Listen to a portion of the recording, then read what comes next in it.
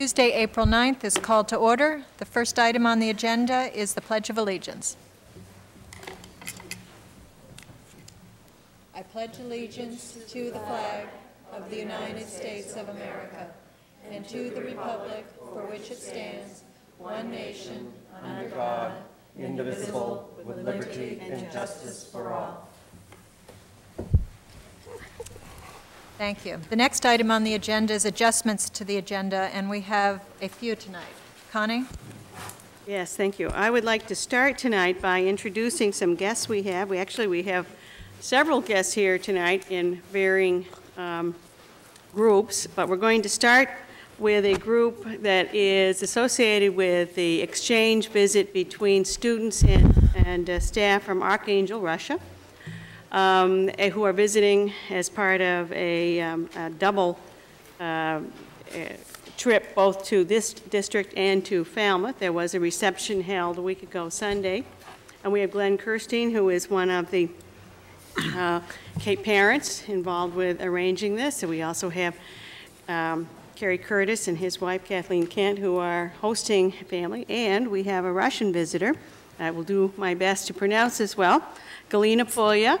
And if I could ask uh, Glenn to introduce Galina to us, I understand we're going to start the evening with a message from Russia.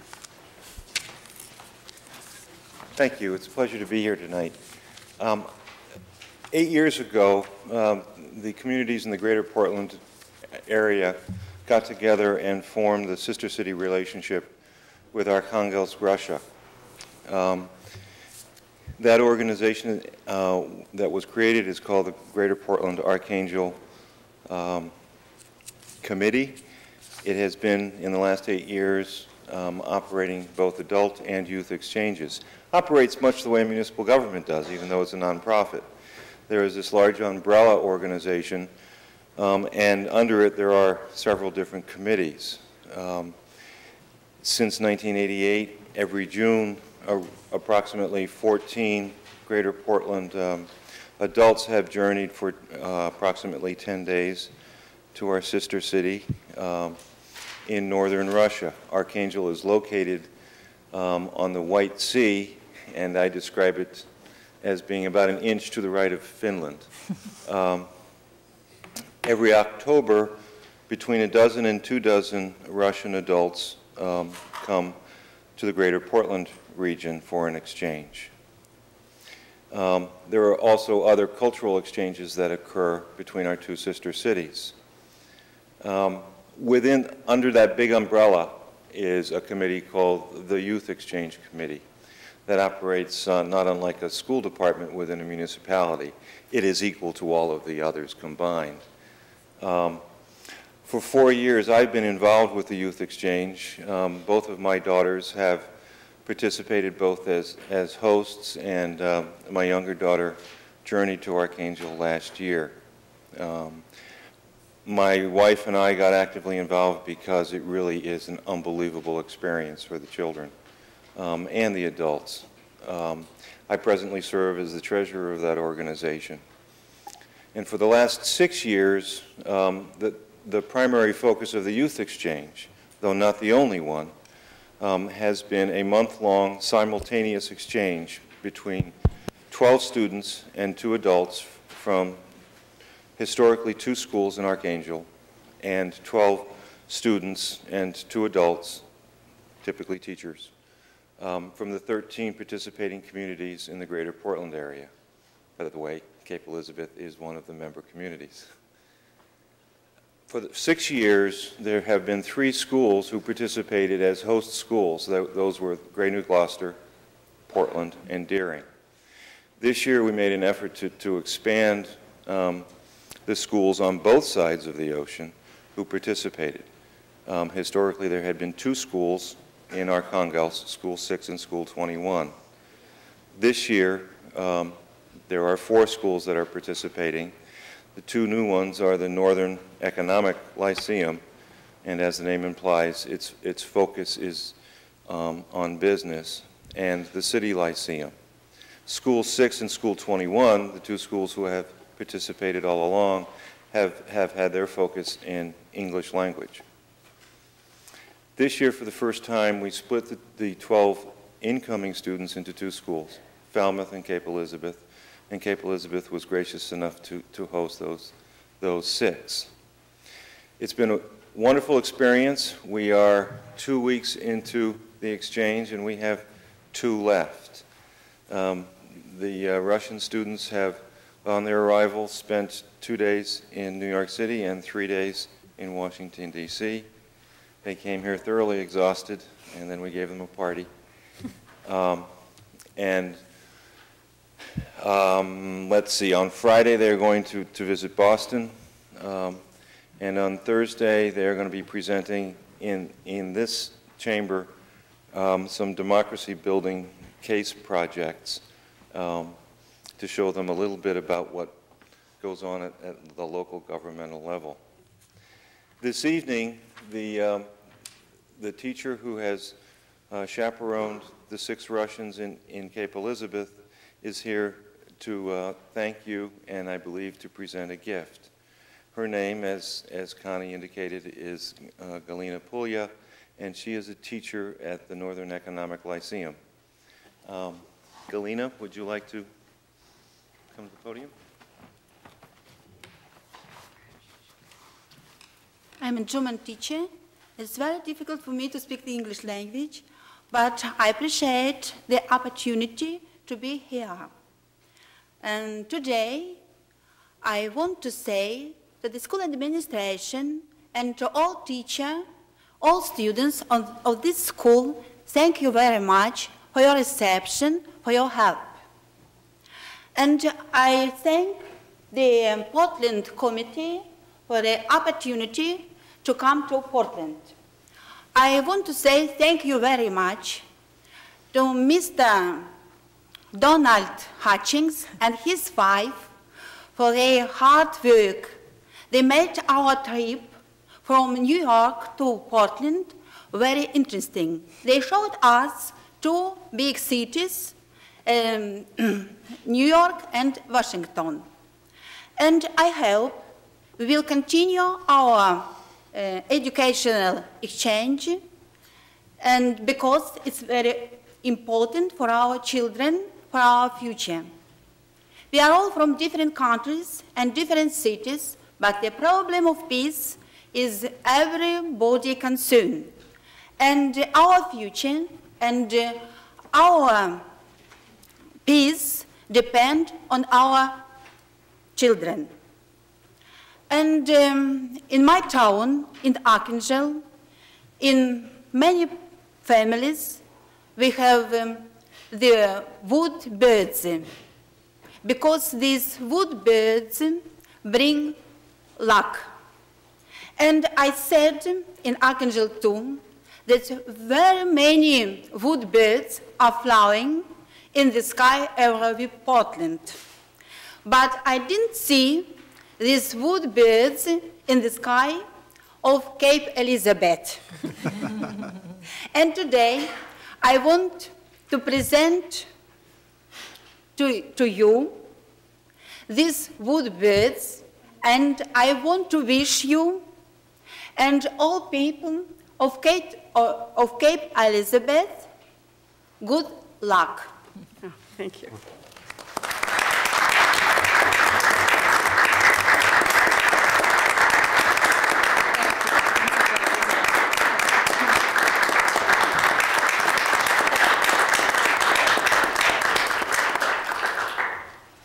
If I might just add, just as the lighthouse is a symbol of our good town, the bird of happiness um, is the symbol of Archangel, and we have many of them flying in our house, and I hope you enjoy it. Thank you very much. Gail just suggested we uh, put it up here, so Gail, I'm going to let you open it while I go on. Thank you. We are very glad you are here, and I'm sure we are learning just as much about uh, your country as you are learning about ours here. Um, The next item on the agenda, oh, we're still on adjustments to the agenda, and there are a few others that, um, under number seven, school board subcommittees and reports, we want to delete the policy subcommittee, they did not meet this month. We want to delete the health and guidance committee, they're not ready to report. We wanted to add the building committee, and we wanted to add the Arts Committee. Um, Oh, look, Oh, there's isn't it. that Isn't that beautiful? Oh, that's Oh. lovely. Thank you. Beautiful. That is really charming, thank you. Carla? I also could do a very brief research strand committee. Great. We will add the Research Strand Committee. And I wanted to add um, Megan Barnes to number four, comments by high school, middle school, and a Pond Cove student tonight. Are there any other adjustments? Did we explain what Megan is doing? I will, uh, Megan has been um, principal for the day, which was an auction item, and she has been busy all day, and I'm sure we're going to hear about it. But today was her day to be principal of the day for Pond, at Pond Cove. Terrific. Great. Are there any other adjustments to the agenda? Um, The other thing I wanted to announce that is printed at the top of the agenda is that citizens in the audience are invited to speak on a topic that is introduced during the course of the meeting. Each citizen is limited, is to be limited to one presentation per citizen per topic of not more than five minutes. Audience participation shall cease on a topic at such time as the chairman calls for the board action. And I would just ask you to raise your hand to be recognized at that time. But thanks. Um, The next item is approval of the March 12th school board minutes. I think we got a new set tonight. Is that right, Mary? I think there were some typos in the other one. Are there any adjustments? Seeing none, the minutes are accepted. And the next item is comments by high school and middle school and Pond Cove reps. We're going to start at the high school tonight, and we're going to work down so that Megan has a chance to hear other ones go.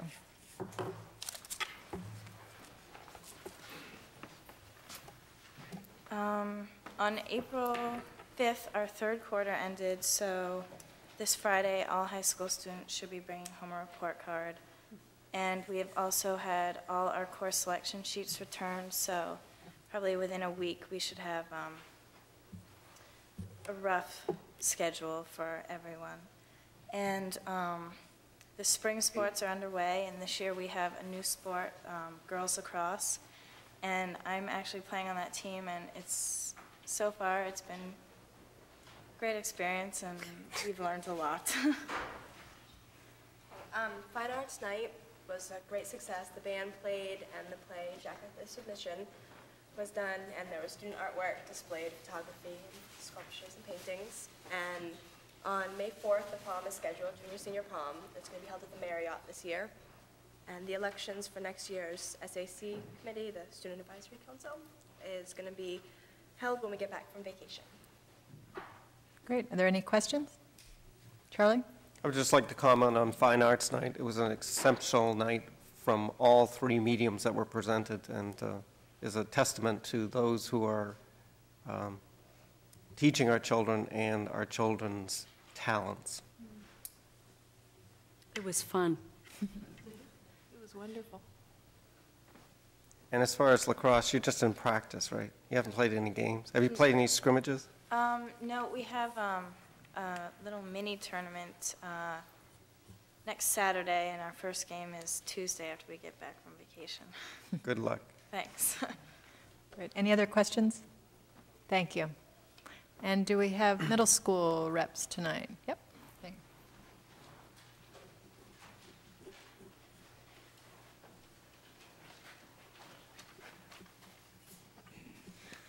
Um, everyone at the middle school has been very busy this month, especially the seventh and eighth grade. Um, the eighth grade have just started a main unit where they went on trips like to our state capital and to Portland. And this week is also foreign language week. And the fifth and sixth graders have made foreign language bookmarks, and the eighth graders have made foreign language stamps. And also, like we heard previously, the Russian students have come in to talk to us. And um, Last week there was a talent show, which went well, and just this week we started our spring sports, which includes softball, baseball, track, and lacrosse. Um, upcoming freshman elections are coming up, as well as the seventh and eighth grade dance, April 26th, which we hope goes better than our previous one. Um, the math teams and science fair activities have just ended, and here's a summary of how their whole season went. Um, seventh and eighth grade teams traveled to three meets. The eighth grade team took fourth place at our first meet, second at our second meet, and second in our third meet. We were competing with competing with 16 other schools in Southern Maine. And the seventh grade took first place at the first meet, fifth place in the second meet, and third place in our third meet. And our math counts team of Melissa Joshua, Katie Dana, Andrew Clough, and Max Sprague finished first in the statewide math counts meet in Augusta in strong competition against nine other schools from Presque Isle to Waynflete. 58 students um, participated from across the state. And for the science fair that just took place in seventh grade, here are the results from that. 10 students were selected from the seventh grade science open house as possible representatives to the Triple C Science Fair held at Scarborough. Liza Williams took a third place award in the physical science category at the fair. And representing our school was Liza, Tim Butterworth, Kristen Nielsen, Matt Christensen, Kristen Barton, and Nick Betzold. And also about the younger grades, as um, the sixth, the fifth and sixth grade challenge classes went to Augusta to see plays they'd been studying, and the sixth grade presented clocks to the fifth grade to teach them how to measure time. And also tomorrow night and the night after, there's going to be a play put on by the drama club, and it's called The Knights of the Rad Table, I think. And you're welcome to come if you want. That's it. Thank you. Any questions? No, thank you. And next, Megan Barnes from Pond Cove. Hi, my name is Megan Barnes. I'm a third grader at Pond Cove. I'm a principal for a day. I asked my parents to bid on this job at the Leap for Learning auction. During my day, I've visited every classroom and answered questions from the kids. Every class asked for more recess, but I didn't think that was such a good idea. Some kids also asked for no homework that night, but I only said yes to one class. I also helped supervise the cafeteria. I met the middle school and high school principals and assistant principals, and the directors of community services and tram- transportation. I also met a visiting magician, Len Solomon, who knows a lot about making musical instruments. I used the intercom to make a few announcements I read to a kindergarten class. My favorite part of the day was calling buses on the intercom and visiting classes. My hardest decision of the day was answering the homework and recess questions and the hat discussion. I would like to thank Mrs. Brown and Mrs. McLean for all their help.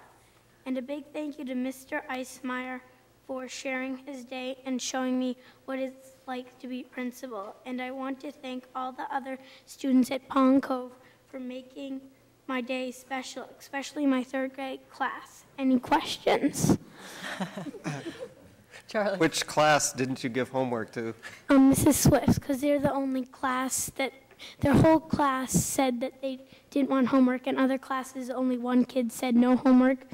And so I just said yes to the class who all didn't want homework. I'm glad majority rules. Are there other questions for Megan? I'll Carla? about the caps. Did, did the kids want to be able to wear caps in school? Is that what? Yes, I said yes to a few second grade classes and um, a couple third grade classes. Are there other questions? Thank you, Megan. Uh, The next item on the agenda is communications. Connie? I'm very glad to see that we have affirmative action alive and well, and that we have a, uh, a woman uh, principal for a day. Good show. Communications, uh, some of these you had in your packet. I'll just go down through them, and then I have a couple others to share with you. Uh, We received um, a communication from Joy Crenshaw, student at the high school. She's planning on a trip abroad this summer for, um, to Latin America. As it explains here, Amigos is a not-for-profit organization. Um, I don't think she intended this as a uh, formal request to the school board. She simply wanted you to be aware of this project that she's involved with, and if you have any ideas about helping her out with her funding, I'm sure she'd be glad to hear from you. Um, We also, uh, in, during the past uh, few weeks have had a number of things come in recognizing staff. I might point out in, in uh, Mr. Eismeyer's, Tom Eismeyer's packet on uh, Pond Cove, there was a letter to Debbie, uh, Deborah Jordan Pearson on uh, a project called Maine's Teacher of the Year program. Uh, I didn't have a similar letter, but I also know that Betsy Nielsen, um, our technology teacher, one of our technology teachers at the high school, was similarly honored. I did attend that um, reception. It's a very interesting process, something new this year. A former Teacher of the Year, uh, the lady whose uh, name is on this letter that's in your packet, Dorothy Neal, felt that um, uh, although the regular Teacher of the Year program, uh, which is, is structured and people go through quite a, a long process, is uh, she herself benefited from it and she certainly supports it. But she felt there were so many teachers who deserved recognition that she wanted to try to start something a little different. What this is, is that Shop and Save gave her and others working with her a grant. Um, I think it was during the number, the month of November. They had posters in Shop and Save, and, and um, people shopping in the store were encouraged to fill out a form nominating a teacher uh, simply as somebody that they knew and admired and wanted to nominate as a Teacher of the Year. So this is not the um, more formal process, uh, but it brought in throughout the state hundreds of teachers who were honored in uh, area, mostly by Cumberland, uh, by county receptions, and the, the one that our two teachers, uh, Debbie Jordan Pearson and Betsy Nielsen, were honored at uh, was Cumberland County. There were probably over 100 teachers there, family, various other school people, and I realized when I went too, worked in three dif- different districts in the area, I saw all kinds of old friends because it really was kind of a heartwarming event. People who might not choose to go through the more formal and long drawn-out process, um, I think were suitably honored. So was, that's, that's background on that particular one, and I also wanted to call your attention to the fact that Betsy Nielsen was part of that. In addition, we have um, a record, a, uh, an item here uh, from uh, uh, Judy Liberty mentioning that Jen Cannell was recently honored with a student recognition work for her superior work in foreign language. Congratulations, Jen. We also, of course, have a letter here from Mary Ellen Tracy- a former teacher, by the way, at Cape Elizabeth, uh, who was the president of the Foreign Language Association of Maine, indicating that Sue Dana, one of our teachers, of course, of, uh, at the uh, middle school, has been named as the Foreign Language Teacher of the Year. Uh, So another congratulations. And I included also a letter that uh, was sent to me, or a copy of a letter sent originally to Rick from um, uh, Mary Van Milligan, the librarian in Scarborough High School, as a result of a visit to our library. What particularly impressed her about the way that Joyce Bell, our high school librarian, has in fact created what she describes as being one of the very best in the state. So I thought I would share all of that with you, and congratulations to the teachers and to Jen Canal. Uh, We're certainly proud of you. In addition, in communications, I wanted you to be aware uh, that we, we, some, actually last year and again earlier this year, we mentioned that we had a teacher who was interested in applying for a Fulbright exchange program, um, and that we have now heard, or she has heard, that the uh, possibility of having that exchange program uh, may go forward. That's uh, Paige Brown, who teaches French at the middle school. Uh, I have met with Paige and with Nancy Hunt and the principal. The process actually required us to get started with filling out paperwork as soon as we were notified. Um, They have uh, found a teacher who uh, looks like an extremely good match for this particular program. However, it's still not a finished item, and I will keep you informed and be happy, and I'm sure Paige would be very happy to sit down and discuss with you and um, Nancy and I some of the details. If all goes through, and this is only really some of the preliminary steps, what this will be is a teacher from France would be uh, coming to the middle school teaching the French courses that Paige is teaching. Paige herself would be then in France teaching English courses because the teacher who would, who is being suggested as a match is currently teaching English uh, in a situation about the same age level and so forth. So um, that is in the process of going forward, uh, but we still don't have a final answer on that. Um, And the last thing I had for communications, I just included in your packet for your information.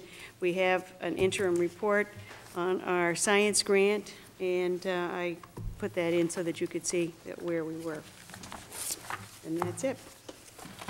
Thank you. Charlie?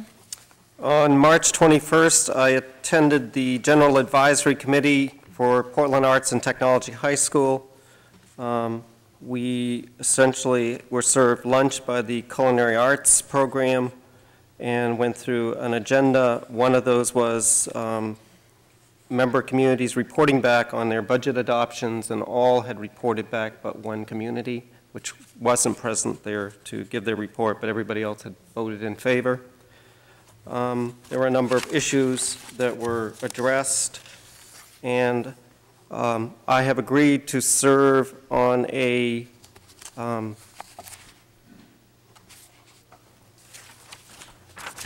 here somewhere, on a program development, um, improve, school improvement team, uh, which will be looking at um, potential program areas that they wish to, to explore and possibly develop, and they include electronics technology, telecommunications, computer repair, video technology, law enforcement technology, environmental technology, and also look at uh, some of the current programs for expansion, such as machine tool, expansion of the auto parts store, and expansion of the health occupation staffing. Um, they would be looking at funding and, and exploring grants, corporate partnerships, and reviewing current offerings. So I'm going to serve on that mainly because I, some of those potential programs I see, some of the areas that we are developing, and also areas I could see some of our student body um, showing some interest in. Thank you, Charlie. Any other communications, Keith? I just want to make note of, of our uh, junior high and high school, or middle school and high school uh, band programs have been very busy lately. Uh, The high school band, in, in addition to the Fine Arts Night, uh, the jazz ensemble recently attended the uh, Jazz Festival at Berklee College down in Boston, and I guess they did very well down there. Uh, The high school band uh, performed in concert with Scarborough bands recently, and also uh, at a con- concert band competition, I believe it was at at Gorham. And the junior high band recently just performed at the state legislature with raving reviews from, from our, our representatives up there. So My congratulations to the, the band programs. Thank you. Any other communications? The next item on the agenda is superintendent's report. Connie? Thank you. I'm going to start with a report, actually Lyle Kramer, the, our chief testing honcho, way to describe it. Guidance counselor at the middle school is here to run down through, you received in your packet, not only his summary, but also the data from the, this year's eighth grade MEAs. Thank you. Okay, thank you. With your permission, what I'll do is kind of highlight the uh, important points in the report and then open it up to questions from folks. Um, First of all, on page two of the report, that page two to the right gives you a breakdown of the number of students who were tested both across the state and here at Cape Elizabeth. You might note that all of our students took the tests, and all of our students at the eighth grade level are included in the uh, testing results. The other thing that happens is that uh, some schools have said that Cape Elizabeth receives our great scores and our high scores because we don't test all of our handicapped students. If you look at the report, you'll notice that quite the contrary is true. Uh, 51% of students with an identified handicapping condition across the state were tested, so that while people across the state test only half of their special needs students, we test, this year at least, we tested all of our special needs students. To the left of that page two of the report, of the, uh, the state report, it gives a summary of the, uh, all of the tests for the past three years and a cumulative average at the bottom. This year in reading, we received a score of 375, and that's up from the past two years. In writing, we received a score of 345. That's a scale score that is down a little bit from last year. In mathematics, we've done real well for the last five years, receiving the top score of 400. In science, we received a score of 340 this year. That's down somewhat from the past two years. In social studies, we received a score of 335 compared to 350 of last year. In arts and humanities, we received a score of 330 compared to 335 last year. And in health, we received a score of, of uh, 335, up from 320 the prior year. Um, if you look at my report to uh, the narrative from me, I have listed those scores towards the bottom of page one, and those have been added to the scores from the past 10 years, so you can get a perspective of how grade eight students have scored over the years. If you flip to page two, which should be an added page because when this report was copied, uh, page two stuck to the top page, so you had to have a supplement. I hope you have that. If you don't, I do have some extra copies of page two. Um, if you go to the second chart down, that compares the, uh, the uh, boys' scores to the girls' scores, both at Cape Elizabeth and for the state. In that chart, uh, the boys and girls at Cape Elizabeth are compared in the first two columns, and you'll see that in, well, before I go to the comparison, keep in mind that last year the reporting of the MEA was changed so that the uh, scores were reported as uh, novice, basic, advanced, and, uh, and uh, let's see, one is distinguished, is the top one. Um, so that when I talk about reading, math, and writing, we talk about, I list there, the percent of students who are advanced, who received an advanced rating or above, and then when you go to the science, the social studies, the humanities, and the health, they have they revert back to scaled scores. That is why the first three scores tend to be double-digit numbers, and the last four scores are three-digit numbers.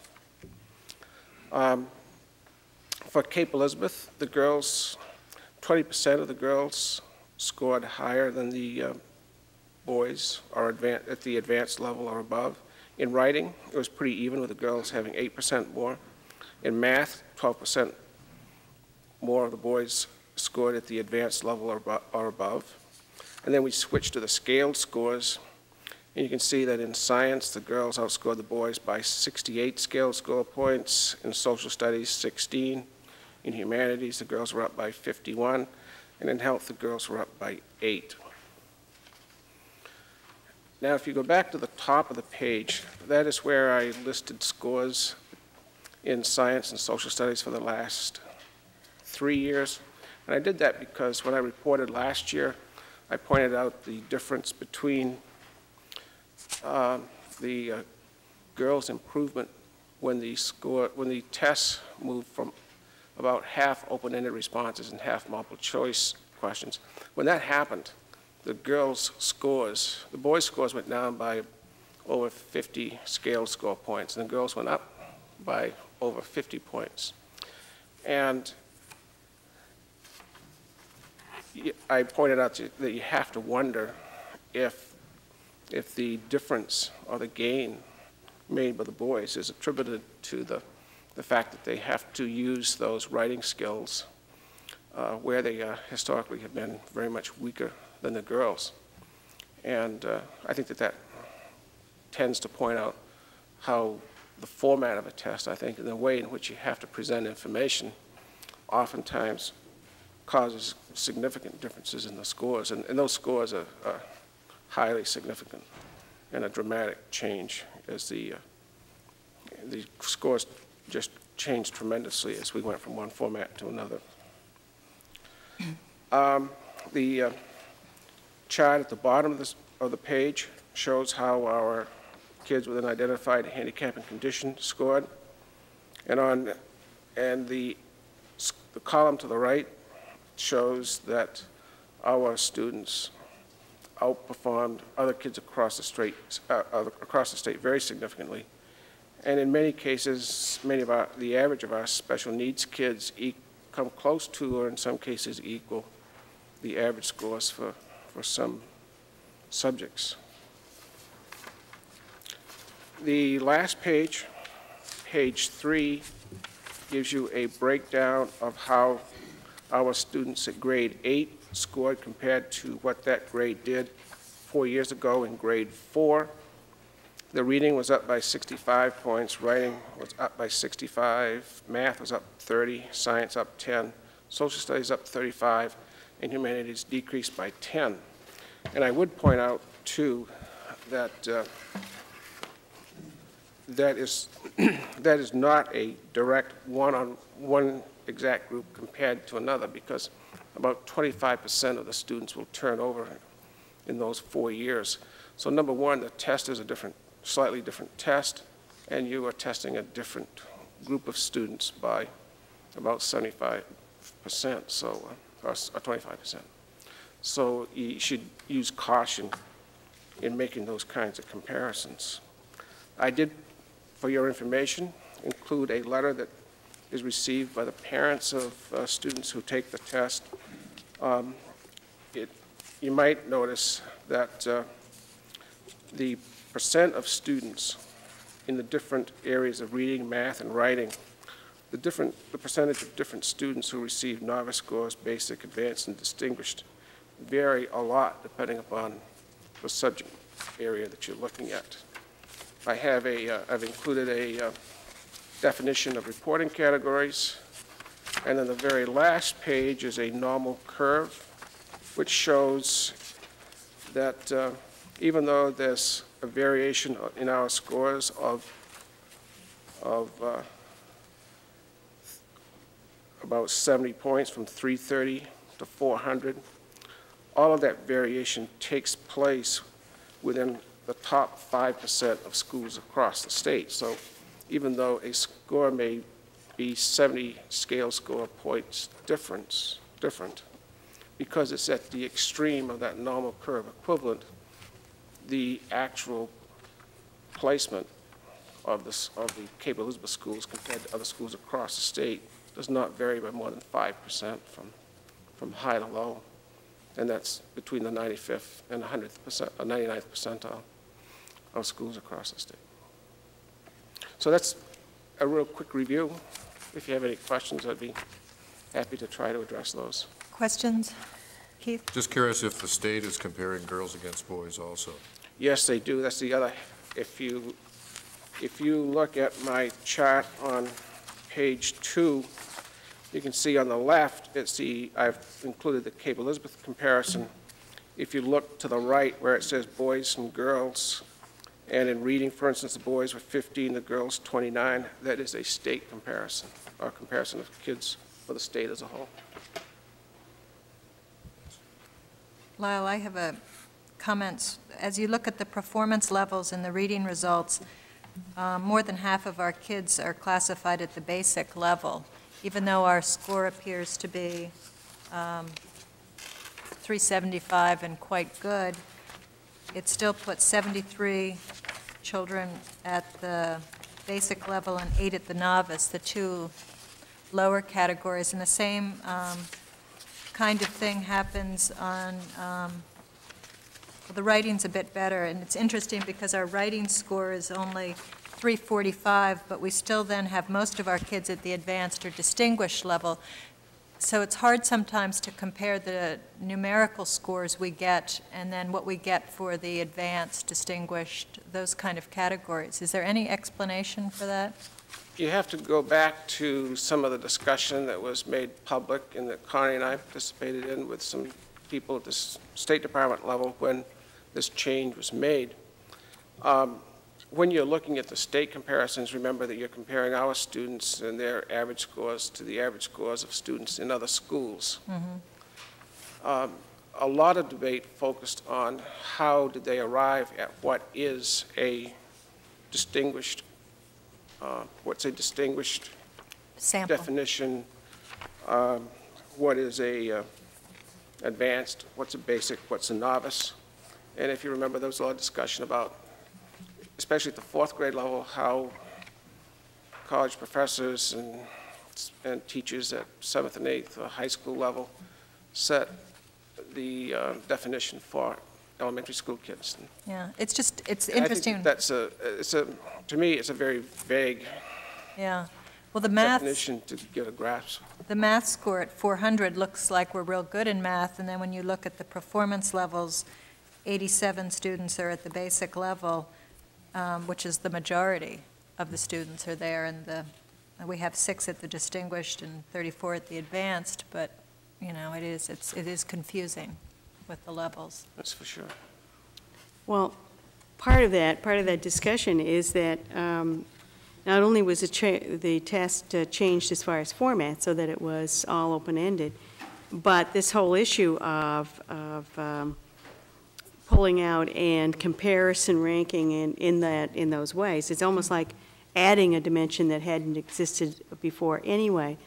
Uh, We certainly are uh, talking about this because one of the things about the learning standards was, you know, high expectations for everybody, which, you know, at the state level, that appears to be somewhat on hold, although I guess there'll be some, some activity on that this year. But uh, this district, for the six years I've been here, has been talking about higher expectations, and I think that's what you're talking about here. There's a, there's sort of a a continuum where you have what is a standard that should be held for everybody, what is a standard that maybe, and, and even that, as you can see, has some variations.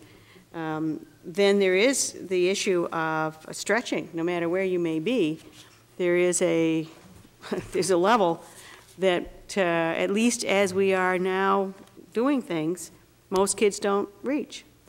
Uh, You could argue, of course, I suppose that's an 800 on an SAT score, but at the same time, that's going to be the argument of the future. People are definitely pushing for narrowing that gap. Uh, And all the discussions that I heard at the state level on learning results, there were people who were saying, well, not everybody can do that.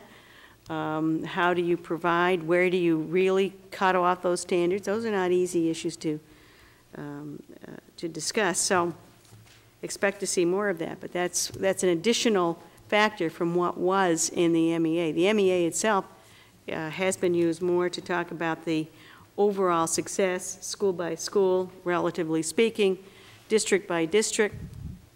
It's kind of a comparison basis, uh, and this is a new piece.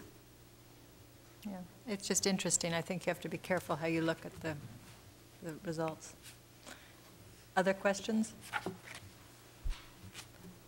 Thank you, Lyle. I just wanted to say, we did pass a school board policy that said we were going to report on test scores at the June and November meetings um, in the future. So it would be great if we could try to get on track for the next year. November. June and, excuse me, um, June and November are the two, in the policy that was passed the Mm. month before. Um, I So- don't want to hear this report again. I'm just saying that in the future, we'll probably be hearing from you in June and November on those dates. Okay. Does that sound? Okay. Yep. Thank you, Lyle. Thank you. Very briefly, I don't have a written report on the Staff Development Day, but uh, we do have a report in progress because we got uh, evaluation sheets from teachers. Just for, just refresh everybody's memory, we did have a makeup, actually it was just making up a snow day. I don't want to use the S word right now, but um, considering the possibility of snow tomorrow, I can't believe it. I don't want to think about it. Anyway, we had our staff development day um, last uh, Saturday, a week ago Saturday.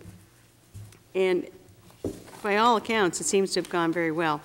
The staff were very, uh, you know, good-natured about it. They were very engaged, um, mostly group by group, mostly system-wide um, uh, curriculum discussions.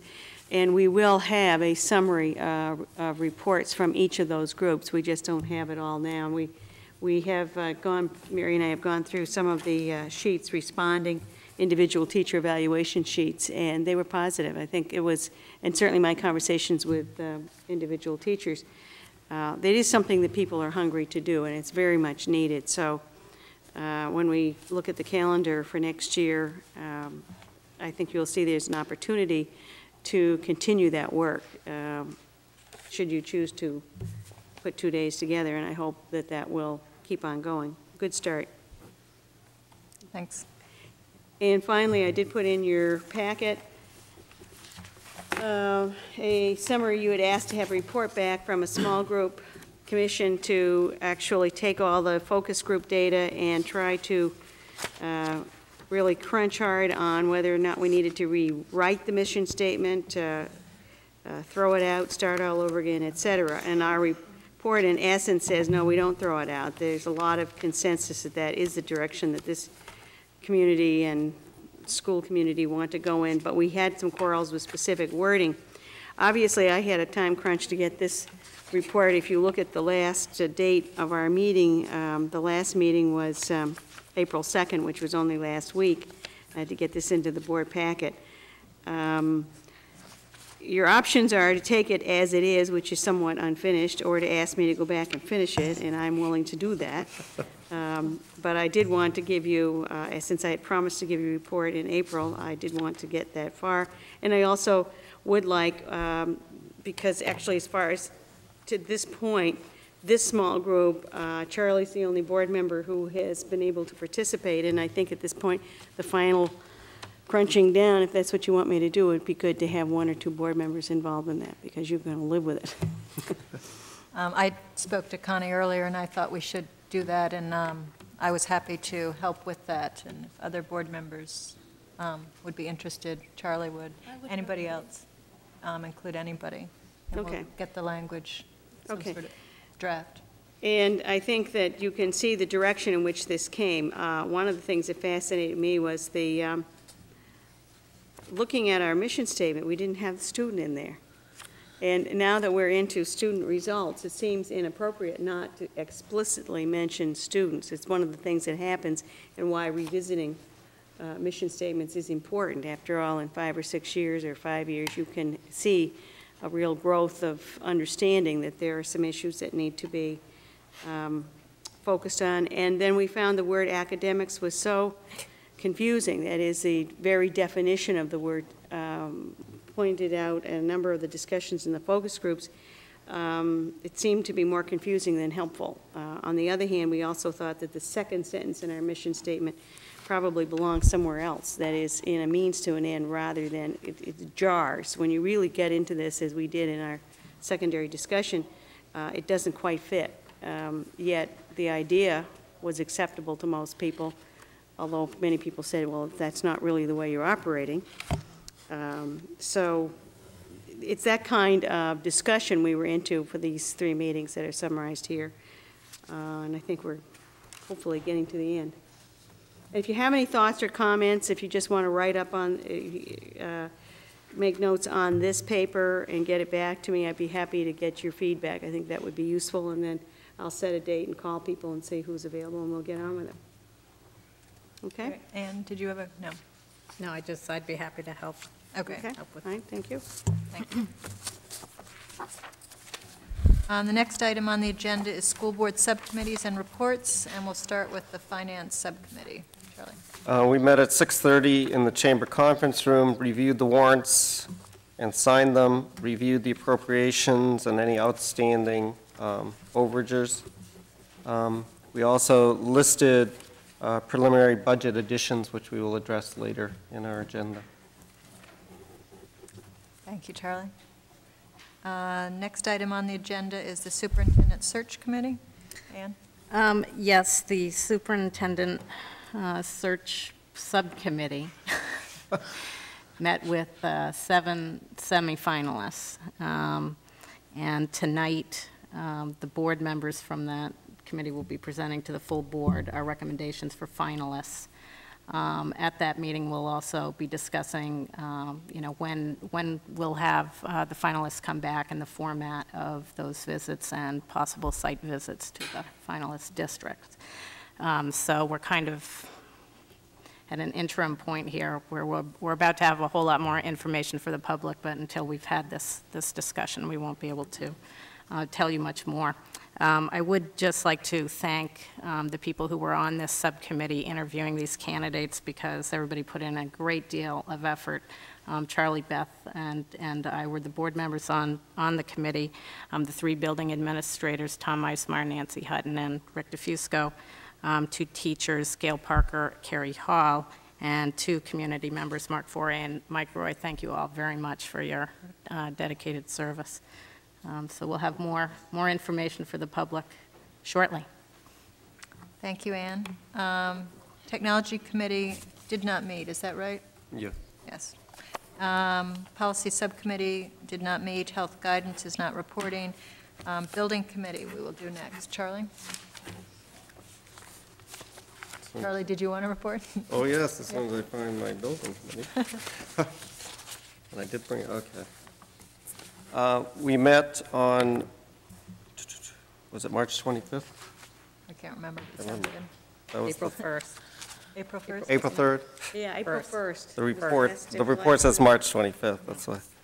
Uh, As a committee of the whole, and essentially reviewed some outstanding um, uh, change orders, those type of things, uh, reviewed some operational concerns, looked at some unfinished work, um, looked at some structural reviews, and essentially did a project closeout summary. And the closeout summary and recommendation was to to create a subcommittee of Paul LaLiberty, Jeff White, and Bob Howe to kind of um, um, supervise um, the closeout and the continuing um, change orders and those type of things that are still outstanding. Um, The total budget at this point is at $24,848.95. That's what's remaining. There are some change orders which will reduce that. Um, there is some money still being held from the general contractor until some of these issues, such as the punch list, are, are completed and they are substantial. So just to let the community know that we're aware of many things that you may see in the building as you uh, travel through it, and we are aware of those and are working on resolving those. Thank you, Charlie. Uh, Can, can I just add one thing? Um, I think this is probably a good opportunity to um, let the public know that the middle school baseball field will not be in use um, this spring.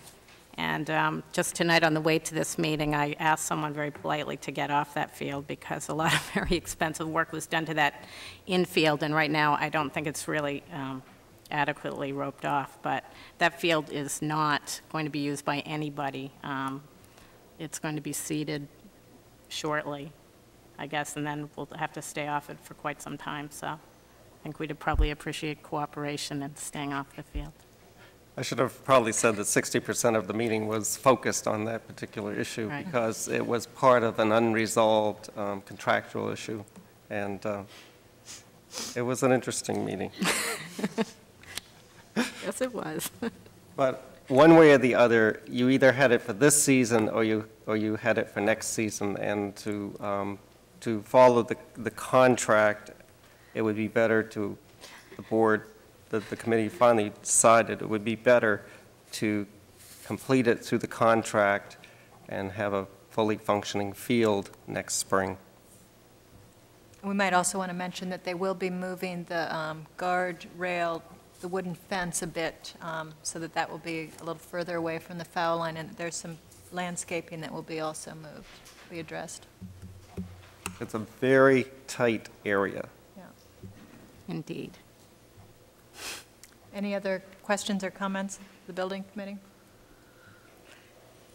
The next committee is the Arts Committee. Carla? Arts Committee has actually met twice since the last board meeting. Um, We met on March 13th.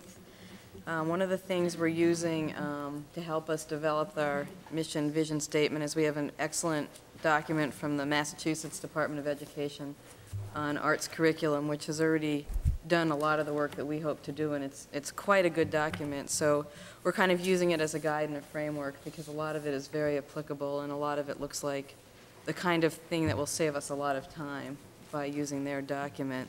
We're also using the Goals 2000 and some of the things that were in the statewide learning results as a guide. Um, So we've been working very hard at defining the mission and vision. We also have had some discussions on developing a survey for the school community on the arts and what people expect and want out of arts education. Inventory of supplies in all three schools is ongoing. And at the March 13th meeting, there was some discussion of a small group. um, They were going to get prepared for the March 30th workshop, what they were going to do for their presentation. And that was, I believe, Rebecca Wing and Richard Roethlisberger and Nancy St. John were going to work on that. And uh, the next meeting we had was on March 18th because we had gotten a lot of momentum going on the statement and we kind of wanted to keep working on that, and that's primarily what we did do at the March 18th meeting. The next meeting is scheduled for April 22nd at 3:30 in the Pond Cove Art Room. And at that meeting, we're expecting to continue working on the statement and also discuss um, site visits. Great, thank you, Carla. Any questions? No. Um, And the next committee is the research strand. Carla? Yep. Um, Research Strand also met on March 13th.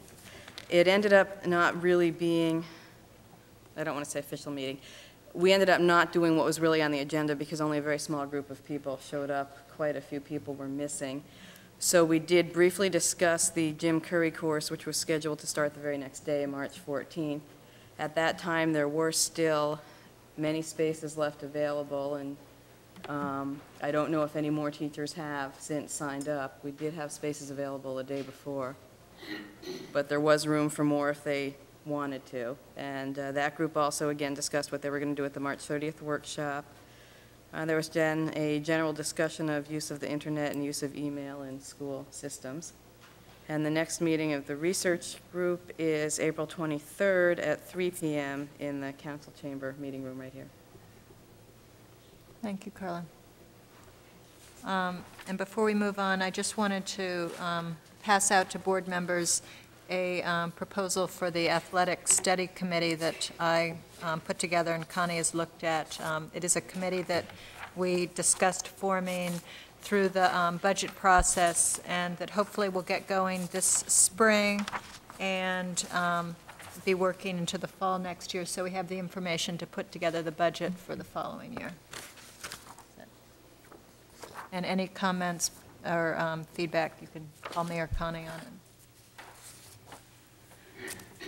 Um, The next item on the agenda is unfinished business.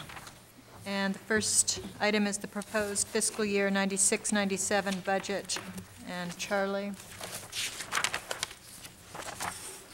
Okay, you should have received in your packet a revised front section.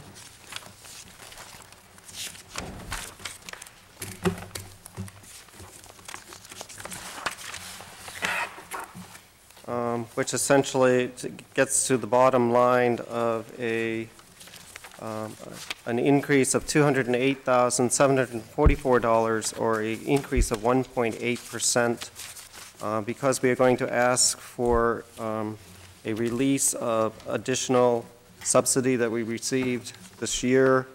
Uh, It will actually not impact, at this point, uh, the tax rate. Um, In our earlier school board subcommittee finance meeting, there were some issues um, that have been brought to our attention, of things that the board would like to look at. Um, I believe um, one of those is to look at the um, tech time that is now in the Pond Cove Media Center. We had, um, in this budget, posed to reduce that from 45 hours to 30 hours. Um, It was the intent, I believe, of the person who made that recommendation to actually reduce it to 32.5. So we did add back the 2.5. Um, There was some discussion in our finance subcommittee, and I believe that a consensus was reached, which we will um, share now, and that was to actually increase the hours to 40, which is a reduction of five from what they totally have now. Uh, We did have the Pond Cove Media Center um, teacher there, uh, and Shari Robinson, and she shared, as she had with some earlier um, data, um, why she was justifying what she had. Is there anyone else on the board who would like to address that? No, I appreciate all the information gathering that went on that helped um, clarify that issue, and it's something we want to look at, the three libraries system-wide in the future, and um, we will be working on it. That will still um, essentially leave the media center with a full-time person five days a week. There's one day, they currently overlap on Wednesdays. One is there on three days, the other is there on Three days. three days, and then they overlap on one day. Um, With, with the reduction, they would not overlap. Anybody from the audience that would like to address that particular issue?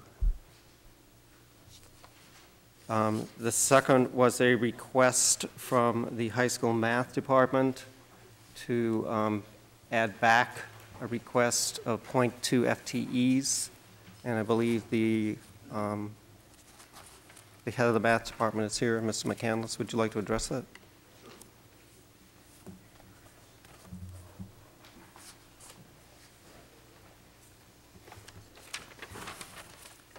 Um, Hello.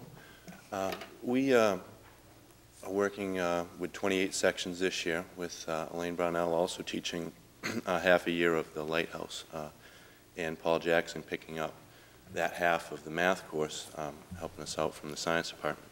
Uh, Next year, due to uh, increased enrollment, we had some additional sections in algebra and in um, pre-calculus, uh, and some other shifting as the numbers changed. Um, And we consolidated and did the best we could to uh, keep sections down. Um, Some things were combined, um, which one was a tutorial. Um, And we feel that it's very important to offer computer programming as something that uh, we feel has been needed uh, for a long time, uh, and hope that we were in a position to offer that uh, with, a- with a full 30 sections.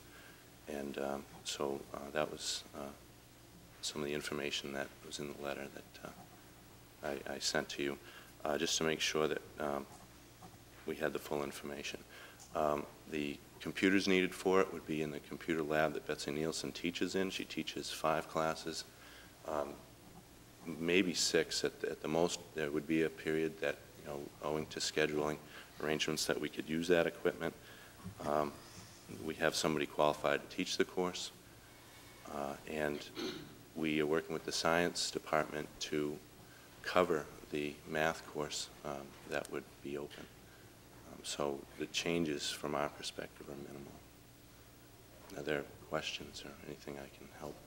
And this is separate from the technology, the library aid, computer aid position, which is the second part of, of uh, my concern. And as I understand, there's going to be a, a, um, a computer coordinator in some respect that um, might be able to address these issues maybe down the road. But uh, it's a concern that um, we as classroom teachers have a hard time um, being able to bring a class to a computer lab and have that lab uh, be, be running and useful to us um, for our class um, without it being staffed. Uh, right now, the, the one that we have that's accessible to classroom teachers has uh, nine out of the 14 machines running.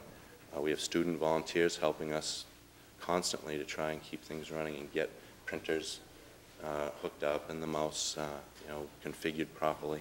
And um, it's um, cannot be used as an open lab for students to come in and use um, during their free periods uh, without any staffing. And it is very difficult to uh, keep that even ready for classroom use uh, without any staffing. So that was the two parts of, of my concern. I think as far as the, the technology uh, aspect of it, um, the technology sub, the technology committee has, had actually in their five-year plan for the third year, was looking at um, a half-time person for each building as a resource person. Um, I think in the discussions that ensued, we felt that if we, at this time, if we could actually bring on board a full-time um, technology coordinator, which actually was, I think, in the, like the fifth year of the plan, that we really needed someone to kind of focus. Right now, we're using um, our current staff, who are full-time teachers with full-time loads, trying to, to keep, you know, a growing, you know, technology um, um, department or area uh, functioning and running. And I think we need to, before we start expanding staff, we need to have someone who can kind of focus everything, and hopefully we'll have time to deal with some of these issues. And if not, in our next budgetary, you know, it would be his responsibility to, to help bring that budget forward and might bring across a reorganization of how, you know, how we cover those labs. They will be growing. Um, the fact that the, that the high school will have almost three functional labs by the time we get through this, the, the, you know, the ensuing budget's purchases will release more computers to the science and math department in the high school, so that you're actually going to have more hardware to work with, which is good for the students and the staff, but also adds additional burden of maintaining those. Um, So I think that is the direction of the board. There was a request also from the Pond to have a part-time um, tech um, in their computer lab also to kind of coordinate and help with those kind of problems that you're, that you're stating.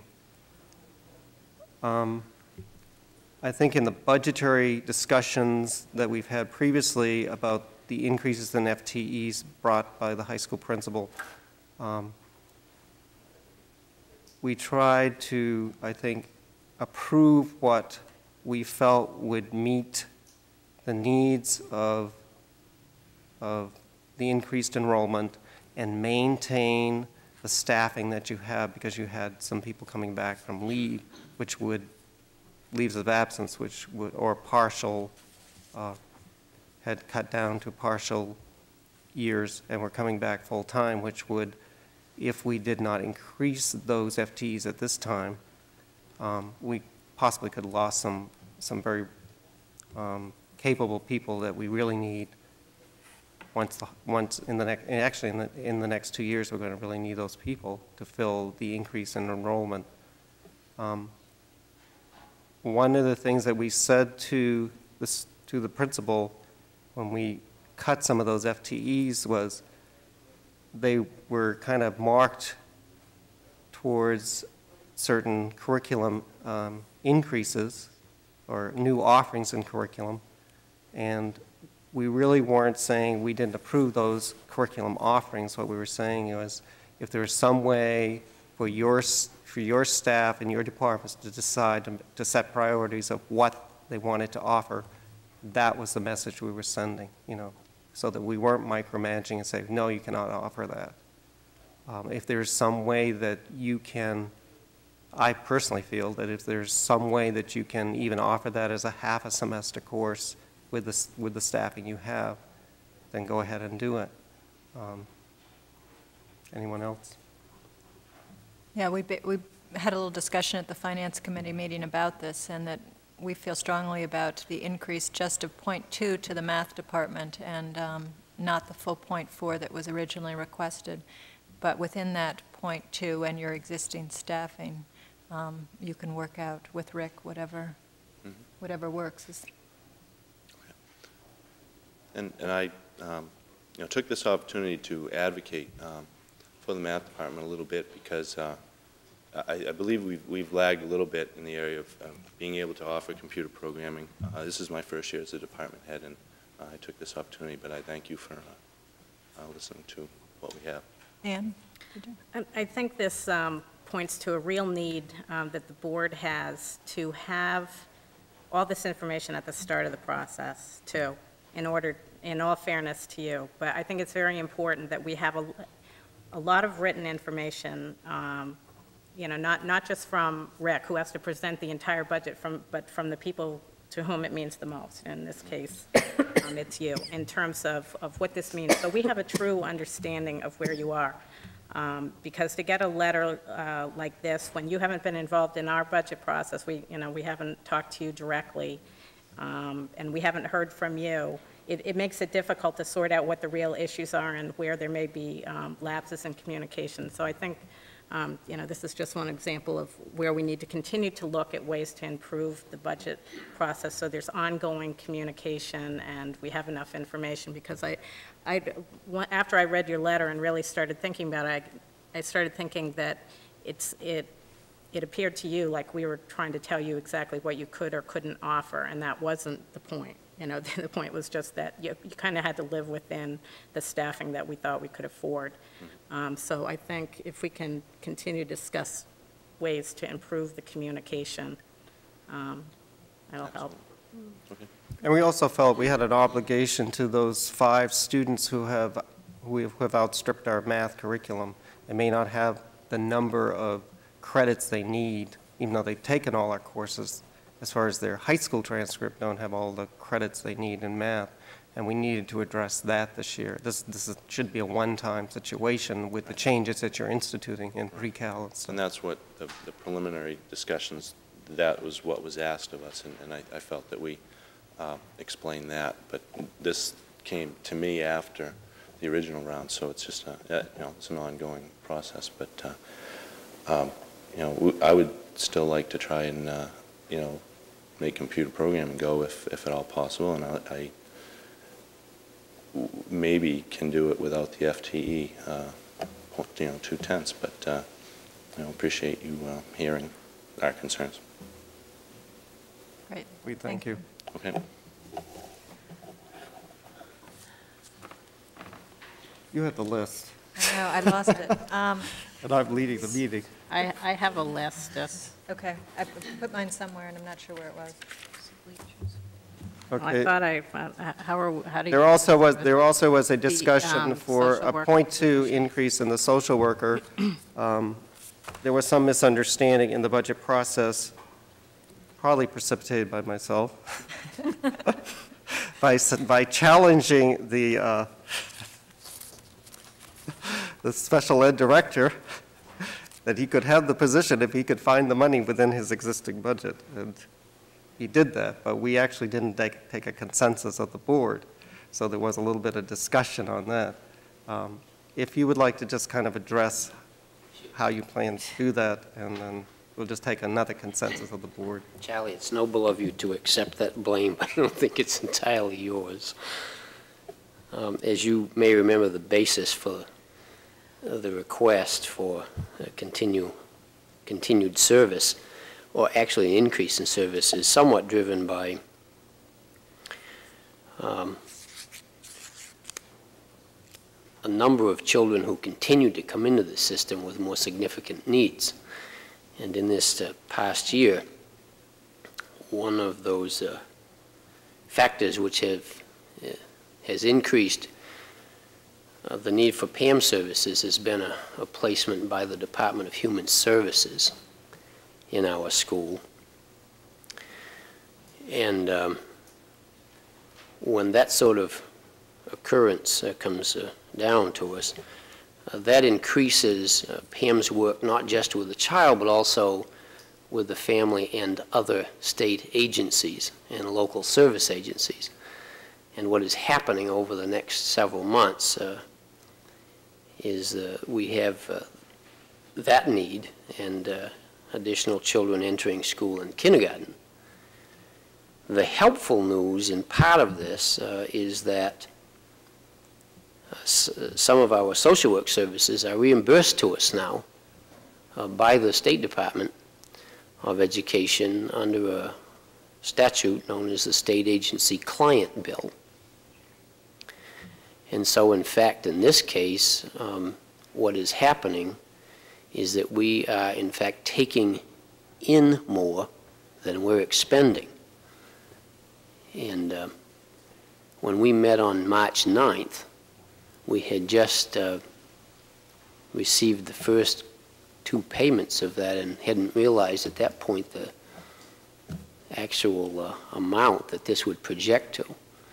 And so in our discussion on that day, uh, thus my question to you is if we could, in fact, find the funds within what we have, would the board approve the request? And uh, so since that time, we've had even more income to offset this. And I think we're in a a fortunate position, actually, to have the two things come together. One, the request driven by more need, and two, the income that we've not had in the past. So that's the basis for that, Charlie.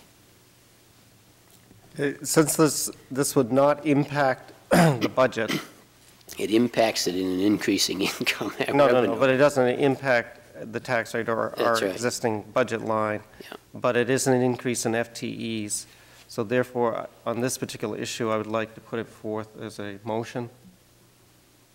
Can I ask a question? Yes. A question? Yes. Uh, Did I understand that we were actually getting uh, more reimbursement than the cost of this um, increase? Point two. The point two? Actually, that's true, Gail, and it's uh, substantially more than I expected originally. So will the additional funds that are incoming offset other special, um, your, your particular budget, or does it go into the general pot? Well, it's sent to us as a special, special education reimbursement, Okay. and so it becomes part of your revenue intake. How it's utilized, I think, is just part of the But it- it- it- revenue process. It's to stay within your department? It's Not not necessarily. designated as such, it's simply revenue to the school system. Okay.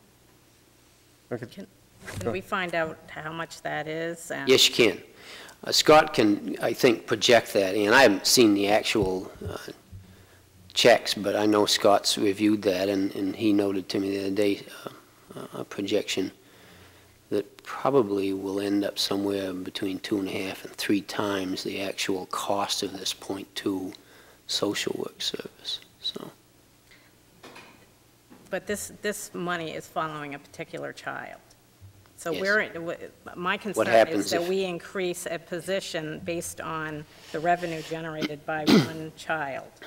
Um, And, you know, that's, that's my basic concern. Yep. um, You know, with this situation, um, let alone the concern I raised before, which is now we have the Health and Guidance um, Curriculum Committee in place that is supposed to be looking at all, you know, this whole curriculum area and staffing and, um, you know, where that should be system-wide. And, um, you know, I, I would have loved to have seen uh, that committee have a chance to, to look at the needs system-wide. Um, If we do increase uh, the social worker, I hope this doesn't become an ownership issue.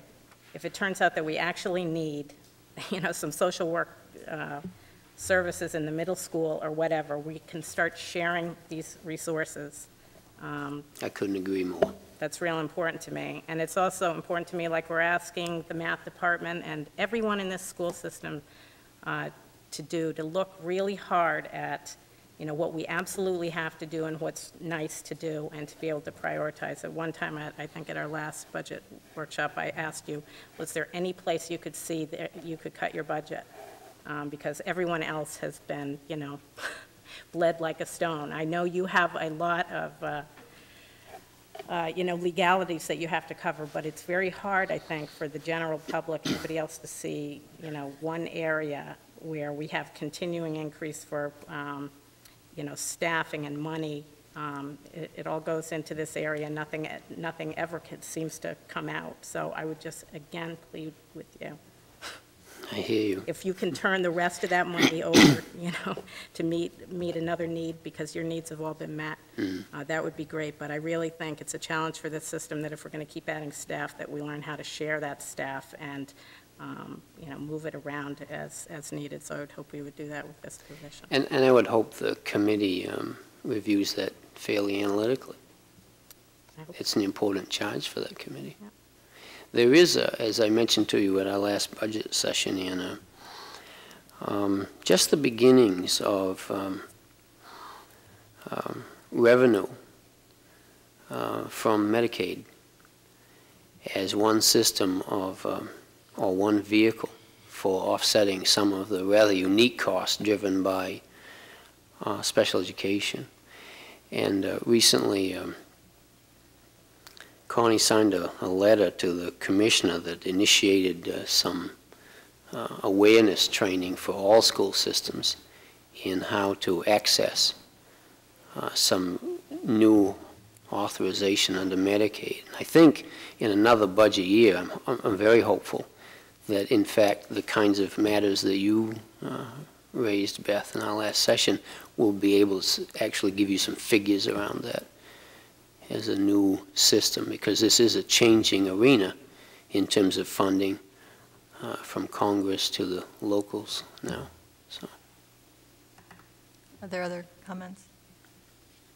I just wanted to say, Wayne, I, I didn't support this increase in staff for some of the reasons Anne gave. Um, Also, because I feel that um, we need to let, well, as she said, let that committee do its work. And I also feel that um, once we do have an increase in staff, if that child does some reason go and the funds go, it's very hard to um, keep supporting that staff. And that um, we really need to be using the money we receive from that child to offset the cost of special ed for that child, and then more money back in the system for the, for the other children. Um, So, just for what it is. Um, But there was the consensus of the board that we would go ahead with this. So, We should probably take a board, a vote, actually. Is there a motion? I move uh, an increase of .2 in Pond Cove's social worker with no impact on the budget. Is there a second? Gail? Any further discussion? Yeah, Gail? No. Oh, sorry. Any further discussion? Beth, could I? Yeah. No impact meaning expenditure, right, Charlie? That's right. Because no, no impact also has a revenue side, I'm not sure. On our, on our final budget line. Yeah, That's the what I meant. Thanks, Beth. All those in favor? All those opposed? Four, three. Four, three. Okay, the next one, I believe, was bleachers. Someone want Yeah. to talk about the bleachers? I'll just say it's my continuing plea that we deal with the bleacher situation at um, the middle school. Um, Unfortunately, it- it couldn't be dealt with uh, through the uh, building project. It was something that came up kind of late in the game, um, and our, our uh, available funds now certainly won't support it. Um, I think uh, if anybody spent any, any time watching uh, basketball games in there last winter when we had chairs lined up, um, I don't think that's a real acceptable uh, solution.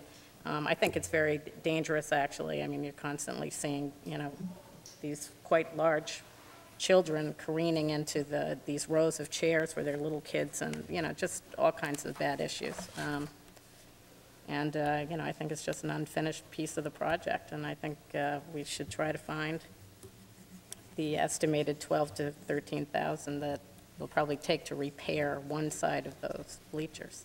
Yeah, I mean, just to clarify, the cost of new bleachers for one side of the room was 35 or 40,000? 38. 38,000. Then there was an- a possible solution of plastic inserts that would go under the bleachers that would then make them safe, which is the repair solution, which is approximately 13 or 14,000? What it, um, what it is, is it's a vinyl insert, uh, a metal vinyl insert that goes into the bleachers and makes them a closed bleacher as opposed to open where students can slide down through or, you know, the public can slide down through. That's the repair that's done to those. Uh, and That's about a thirteen, fourteen thousand dollar repair. Could you go on to explain uh, how this came about that we can now discuss this repair to the bleachers when at one of the original meetings, we were told that that was um, not an option for our budget? Um, it happened by chance. What happens, I was looking at the, uh, uh, School Business Managers Magazine, and there was a new company that was advertised on bleacher repairs. Um, and that's how we came across it, and I spoke with Dan Reed, our maintenance director. Uh, we got some measurements and sent that out to the company for a quick proposal on what it would take. That's how we found it. And insurance-wise, we're, we're fine with a repaired bleacher and? Yes, the real issue is the open bleacher versus the enclosed bleacher. That's the piece of it, and obviously there's some boards that would have to be replaced, but they would also be covered with a vinyl insert. Have they looked at the, you know, the the steel structure of that? Has anybody looked at the steel structure? Yes, we've had, our insurance company has looked at the bleachers as well as the structure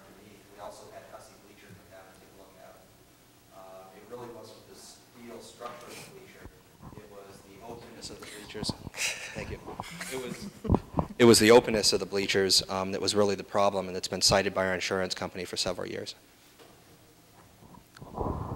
And when we found that out, the bleachers were closed and left closed, which is why the- That's just right. chairs in That's right. Um, One thing I would like to recommend to the board is that I'd like to see what our fund balance is at the end of this year, and there may be some repairs that we can do that out of this year's budget. And I'd like to leave that open to present that to the Finance Committee. Keith. Keith? Uh, Scott, I was wondering if you knew after the repairs, if they'd still be able to open and close? Will they be open all the time? No, they'll still open and close, they'll still bifold. So how, how would you do that if, to see what would be left at the end of our budget year? How do you propose this budget, knowing that that's unclear? Well, one of the issues that happen is obviously if we don't um, expend all our supply or equipment or um, uh, certain lines within our budget, um, you know, it's been pretty historical that we turn back a small portion of our budget to the town each year. What I would suggest is encumbering those funds at June 30th, um, when we look at what our fund balance is, and carry that forward to the next year as an encumbrance. And Gail's question Basically, it is- would be paid out of this year. We'd have to uh, still do a lump sum tonight, accept a budget without knowing what the outcome of Yeah. that is. Yeah, I would, um, um, I would anticipate um, right now in having conversations with Wayne Dorr about some of the uh, um, subsidy that's coming back to us um, through some of the special ed lines. I think we can probably handle that in this year's budget. Do you think we could safely not include ble- bleachers in this upcoming budget um, and create the bleacher repair? Yeah, Put me on the spot, Gail. I would say, yes, we can, okay? At this point, I would say, yes, we can, you know, with no hidden unforeseen problems at this point. I think uh, the way our budget's going right now, I think we'll have a strong enough fund balance to deal with that. Just to remind the board that for every $7,000 that we add to this budget, it impacts the tax base by one cent. So, I'm not suggesting that No, no, no. add it into our budget. I just don't want people to forget about it. And I w- basically, you know, think it's important to have this discussion and understand it's a critical need we should try to fund. And we do, we have You a put a it in. solution which is much cheaper than Right. when we went through the building process, so. If we put it in to the upcoming budget, but found that we could pay for it out of this budget, can we amend the upcoming budget? It just goes to the contingency. Well, at this, just at this, goes- yeah, I would just go on the contingent. the- At this point, if you add it back, it, it- if you add it to what we have for a bottom line, it does impact the tax base. So these are the things we have to bear in mind. Is this a vote again? Would we have to vote on this? Well, we're going to just vote on a, consensus? on the budget. No, If no, I it's a meant on the particular item of bleacher. adding back in, we probably should have a vote- uh, a uh, motion vote. Carla, did you have a question? Yeah, I would just say that my inclination, if we are going to vote, is I would not want to fund this this year. And we've had the kind of conversations that we've had, and a little bit tonight, where we've talked about um, some academic issues. This is a fairly large sum of money for a non-academic item, and my inclination would be not to put it in the budget. for next year. Right. And if, and if we could find, if we could encumber, you know, funds be for this year, That would that would fine. meet with your, Right. okay. Keith? I was just wondering if we had a plan for the other side. Yeah, our plan was that we really didn't need the other side So that- anymore. that's coming out. Yeah, that we could really survive with just one side. It's not used as a meeting space like it used to be. Yeah, I it think. used to, you know, the um, stage used to be there, so it was, you know, for the full space, so. Yeah, so there is no plan to do the other side. So We do now have another area where we can congregate for the, the needs that a double-sided uh, bleacher system required, plus we also have a- another gym, which has alleviated some of the, Do, do we have a basic agreement, though, that if we have money left over in He this year's could- budget, we can put it the towards business that? manager would bring it to the finance subcommittee. I think we would have to move on it at that time. Right. What the issue right now is, do we add it to next year's budget? Right. Uh, do- Would you like a motion? Yes, I- would. Okay. Okay. I move that we do not include the repair of the bleachers in this upcoming budget. Is there a second? I second it. Charlie. Further discussion? All those in favor. I favor? just want to clarify, so Yes. the motion is Not not to. add. ex- Yes, Okay. Yeah. All those in favor of not adding? I, I just wanted to say, I I would be in favor of doing it with any reserve funds this year, and I think we need to address it in the future, but not to add it in the budget. So, Any other discussion? All those in favor? Of not Of adding. not Not adding. Adding. Seven zero. Sorry. Um, Our secretary to the uh, budget process, is there any more on your list? Uh, Yes, there was I- one. My notes are not real, were not really meant for this purpose. Um, The salary Um, adjustment. Yeah, the superin- superintendent line. Um, but Since we are uh, in the process of looking for a new superintendent, um, it's pretty clear that we don't have quite enough um, in our budget right now to cover what we anticipate um, we'll need for, uh, to to hire a new superintendent. Um, So we need to uh, address that somehow. Well, realistically, we need to add another 10,000 to that line? Well, I think just as a round figure. I think, not to put Scott on the spot, but I think we need to know. Where's the bottom line? Where we are, ri- where we are right now between uh, the change in the support teams, the change in, you know, all those changes were just. Adding the library ed text back, the Right. changes we've made. And the athletics uh, stipend, is that an issue that he can add back? What I should make, make the board, the whole board aware and the community is that we had approved girls lacrosse for next year. In approving it, we essentially asked the athletic director, the principal and the athletic director to go back and find the cost of that program in their existing budget. Today, the athletic fee committee met, and the, the athletic director came back with some revisions, some of it um, kind of mandated by the- the Maine Principals Association due to, to a shortening of some of the, of the seasons of some of our sports. And we were able to realize the 5,000 that we, we asked to be cut from that athletic budget, plus he also realized 27,000 more. I mean, Nice. 2,700 more than we asked him, so that he actually gave us back 2,700 from his budget.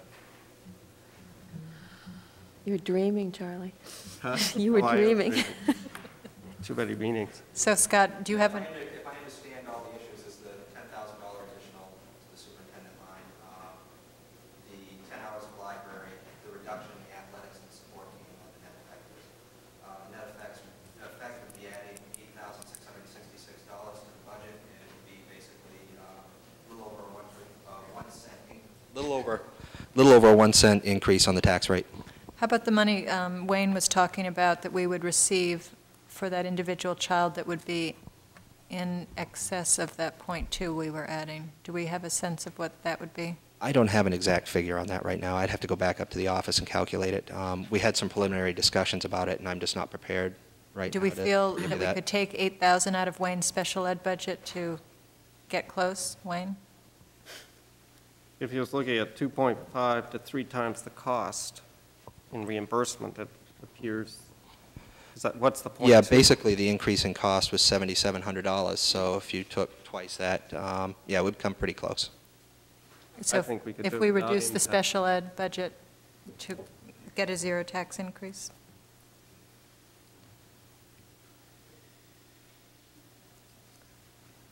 Wayne, I don't want to put you too much on the spot, but. Yeah. uh, How we, how we handle that right now is we actually credit the special ed salary line um, for the additional subsidy that's returned to us. So yes, in fact, we can reduce the special ed budget by that additional revenue I would, I would. and maintain that do zero tax impact. Yeah, I- I would feel comfortable with that if, So, so then we are really not increasing this dollar, the bottom dollar? That's what we're just trying to sort out. reallocating all the funds. out. funds? No, you will not be increasing the bottom line if you count those revenues. Any other discussion? Any other issues? Well, could I bring up one item, the Yep. gates for the middle school? If we have extra money in this year's line after we buy the new, ble- the repair on the bleachers, w- would that be reconsidered again? I think they were also looking at some other alternative, Oh, they are? alternative. um, Security. that Nancy Security? could address that, your, your gates that you offered up. Actually, it's my friend Phil who has those gates um, in his dreams. And the gates were really more for our events that we have within the building, usually the dances, quite frankly. The other systems that we're talking about have to do with security for the building and entrance into the building. So the gates are more of an internal control once we have a dance, or if we ever had a social there. Usually our socials are at the high school. Um, The other system is for external entry, so. Okay. I think they're two slightly different things. I don't know, Phil, did you want to add anything about those gates? How- Are we, are, is that security system being included in this year's budget? It's currently under study right now for soon. Oh, for soon. I think it was something that we needed to address this year that we could not really wait till next. Okay. Okay. I- Yes. I think that, um, I mean, we could go back through the whole budget and decide little pieces we wanted to put back in, but I think my that... only issue. I think that would be folly, because um, I- I- I'm still kind of overall concerned that our contingency is pretty low. Um, And we always have unanticipated needs, and um, we even have a, a kind of a, a run on the, uh, possible run on the contingency for next year already um, that Connie alerted us to. So um, I think rather than, you know, think about things we can add back in, it's very, you know, it's I only a wasn't few adding it thousand into dollars. this year, I was seeing whether it would be No, I covered know. under what was left over, but we just add that all into a contingency. Are we allowed to keep that, to put into a contingency? No. I didn't think so. But Scott put- always okay. addresses that at the Yeah, end of the but year. yeah, we need to know what the, we don't Yeah. have that bottom line yet. What, what I'd like to do is, uh, for the June Finance Committee meeting, I'd like to bring you a list of priorities, okay, to the Finance Committee, and let you decide what you'd like to expend any fund balance that we have on. Okay. Okay? Charlie? What we have come to is a very, very tight budget. The business manager, the superintendent, uh, the board, the administrators have all gone back and really looked at this.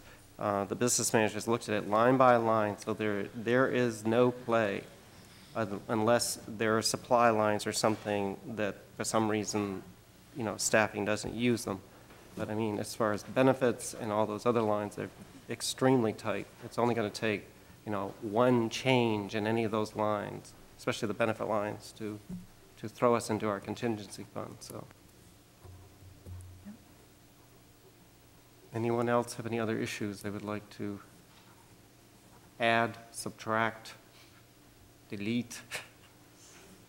I'd just like to make a comment that I feel good about this budget.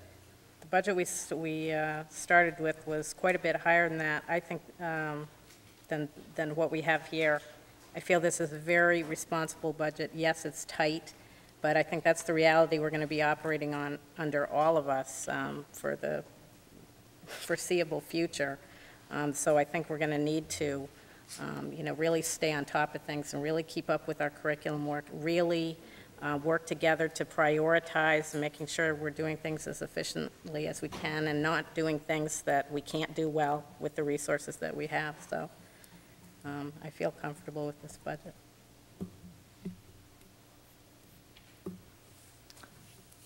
I don't have any more comments. Anyone else?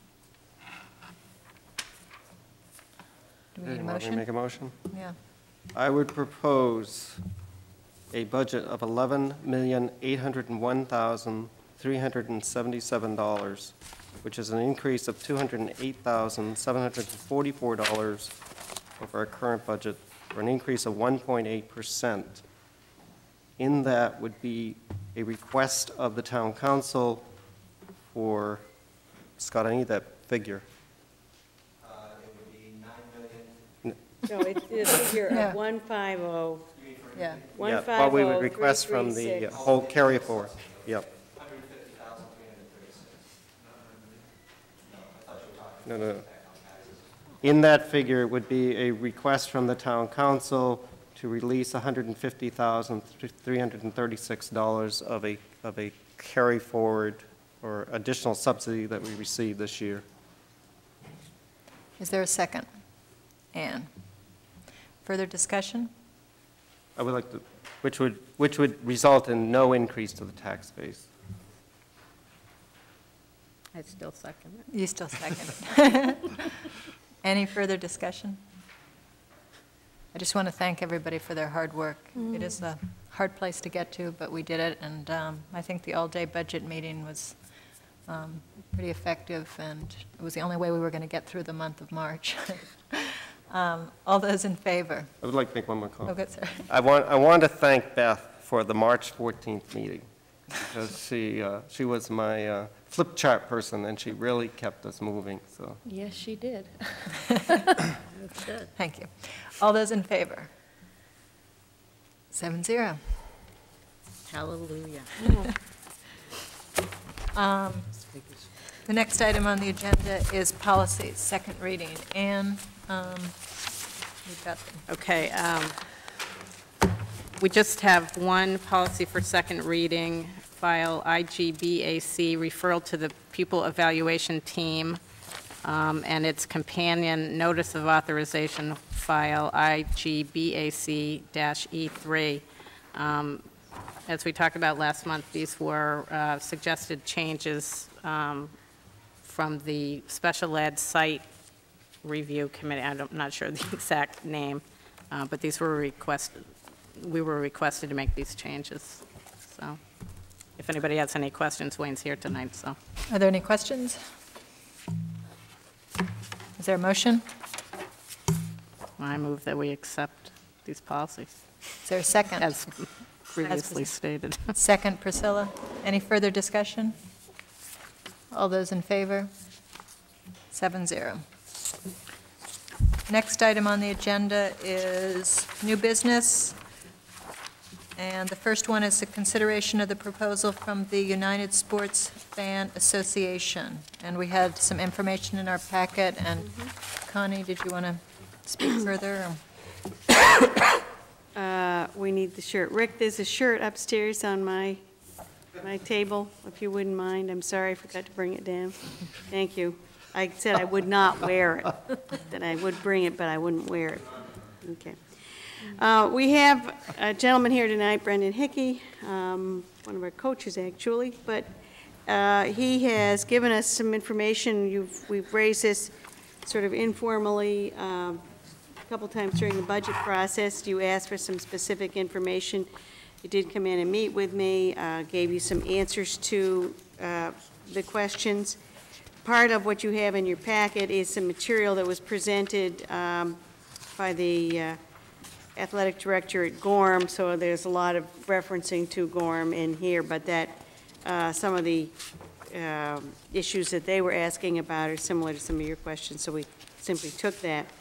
Um, I might ask Brendan if he would mind coming down and talking, but I'll start the discussion. This is a, an attempt to organize the fans of America, as I understand it. You can correct that a little bit if you want to. Um, But part of this is uh, frankly a for- a for-profit corporation that has uh, several purposes, among others, trying to give fans a voice in some of the national disputes about what kind of things people really want. Thank you very much. And, um, but part of it is an attempt to support sports uh, through schoolboy sports. And we had some discussion about getting sponsorship so that uh, there would be various logos, and I think when we first started talking about this, they were much larger. I'll pass this around. You will notice that the USFA uh, letters are on, and in frankly, letters too small to- for me to read anyway without my glasses. There is um, small print, which I gather is what the local uh, business sponsorship would be. So why don't I pass this around, and Brendan, ask you to add to that very brief explanation of what this is all about. It would be soliciting some business sponsorship for individual logos that would be carried on um, individual teams. Right. One thing that uh, people should realize is the USFA is trying to be, or is going to be, a buffer between corporations and the schools. One thing that we don't want to have happen uh, throughout this process, for example, if we end up getting Nike as a, as a corporate sponsor for funding school athletic uh, uniforms or equipment or whatever um, the athletic directors put down on their uh, need list. But what we're doing is we're trying to act as a buffer um, so that Nike can't come in and say, now that we've sponsored you guys, now you guys have to wear all of our cleats or we're not going to sponsor you anymore. We have, we have uh, contracts that are being signed by corporations that are basically saying that there's no contact with the schools whatsoever. No solicitation, nothing. All we're looking for is support for public schools, and we're looking for them to fund it through the USFA, and the USFA will put, um, put our emblem on the uniforms, and if the corporations want to advertise in the red box underneath, that's where they will advertise. One thing that you'll come across is... uh, Right com- here, you're saying that it would say the sponsor, That's right. What it says in there right now is United Sports Fans Association in that red In box. that little, in that little. That's red- correct. Now, one thing that you're going to come across is, is companies such as Coca-Cola. And we have a company such as Coca-Cola who might want to sponsor USFA, but they want to do all the schools and none of, the- none of the schools because they're afraid that if they only do a couple of the schools, that they, all these other schools will come after them and saying, why didn't you sponsor us? So what um, a company such as Coca-Cola would do is they would fund USFA and be a support of USFA, and what would end up being on the uniform would just be USFA, United Sports Fan Association, and that's it. What we end up doing is we send out uh, brochures, um, hats, decals, um, shirts to all its members, and tho- those memberships are are what basically drive um, the company itself. What we've tried to do is try to get USFA a good reputation in the communities by supporting public school systems. The USFA will not come in and solicit any business either into the school systems. We're not going to be coming into the school system saying, we want all these kids to be members.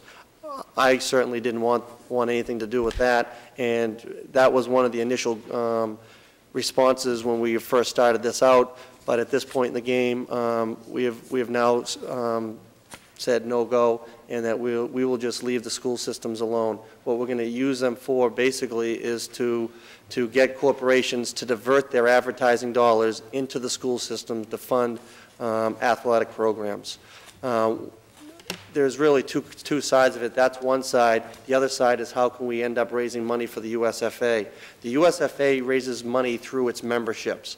And what ends up happening, for example, is we have Bath Iron Works and its union, Local 6, right now, that what they're trying to do is they're trying to, um, Local 6, for example, is trying to become a, um, to try to do some public service in their community. And what they've decided to do is to take us up on our program. What we're doing actually is going up there, offering them three memberships apiece. They end up buying three memberships apiece in the union, which is about 5,000 members. And then in turn, there's about um, $200,000 that go into their general fund. We basically help them raise money um, to put back into, into the communities. So if we help them raise $200,000, we're giving them incentive to throw it back into the school systems. We're giving them an idea of how they can bring it back into the school systems um, and, and get a positive response out of it. Um, And that's something that they certainly want to do. Uh, And we're in, also in the process right now of working with the management side of General Dynamics and Bath Iron Works themselves. Um, And we're meeting with them on Friday, as a matter of fact, to finalize our decision with them. So basically, what we have um, gotten to at this point is now we've gotten a union involved, which drives memberships, which really has nothing to do with the school systems, other than the fact that this company will now, this union now has enough money to fund five or six school programs. Um, Bath Iron Works itself is now a corporation now that we will have, and that's, that's another 3,500 members of that corporation, which we're looking to now get two, two, um, two means now, a corporation and a union. Basically, wha- why we want those is because we're planning on taking this countrywide. This is a, um, this is a program which uh, Senator Cohen has been advised about, which we're also meeting with Senator Cohen. Uh, Sports Illustrated, of all places, has asked to do an article on us in, in their program, and there are some companies on the New York Stock Exchange that have already um, looked at us, at, at possibly purchasing us after a year or two of uh, a track record. So I think um, with the people behind us, uh, the people that are involved in the, uh, in this company also might, might give a little realism to the company. Myself, um, Bowdoin graduate, uh, coach of the Cape Elizabeth High School hockey team. Um, I set up the, uh, a bank or a mortgage company for Chemical Bank uh, in the state of Maine, which is now Chase Manhattan. Uh, We are also, uh, one of the other partners in this company is John Gleason, who is the owner of Coastal Athletics, who basically does most of the, um, most of the uniforms for most of the schools in this area. So you're dealing with some uh, pretty um, real people and some people that have some type of reputation. Um, I know it's a new venture, but um, I think um, we're very much on the verge of, of turning this thing over. The original patches on these things were so big, it was incredible. Then we started out with like the Coca-Cola inscription in a shirt, and at this point in the game, we've finally narrowed it down to just a simple USFA. And whether that's on the back of the jersey or right here on the jersey, if you continue to look at that jersey, you can see on the inside, it has a Wilson, um, a Wilson uh, tag on there. Once, once the players are out there on the field, no one's even going to notice, the, uh, really going to notice it that much. Uh, We try to make it as inintrusive as we possibly could. Um, I think the main questions that we came across on the Gore, at Gorham School Board was um, the corporations being able to get into the school. No, it won't happen. Um, The athletic director and the, um, the athletic director will be able to choose all of the equipment that uh, they want. They have first right of refusal on everything. Um, Connie, I didn't know if you want to go in any, to any further as far as, I think that if there are questions, actually, what you have in your packet is a sample of um, uh, how we get the process started. The second step would be to uh, have a more formal contract uh, document, and I don't have the, I took the sample that you gave me this afternoon to our our um, athletic fee committee and passed that around, but I don't happen to have it here tonight, uh, where you had added a little more language, and uh, what, what um, we're really asking the board to do tonight is to say you would allow us to go forward with this, but there's one more step. We do need to ask our attorneys to look at any contract we sign, uh, which I understand other school districts uh, involved in this are doing it. So it doesn't seem to me to be a, a big risk issue. There are some issues, you know, any, any new venture, we don't always know what it is. Uh, We've just, you've just passed a very tight budget. Budgets are going to get tighter. Uh, If there is a legitimate way that we can um, help with the expenses of some of the sports, it seems to me it's worth exploring, which is really what you're asking us to do. Correct. Ann? Do you have, we've been asking for a long time, do you have any written information about your organization?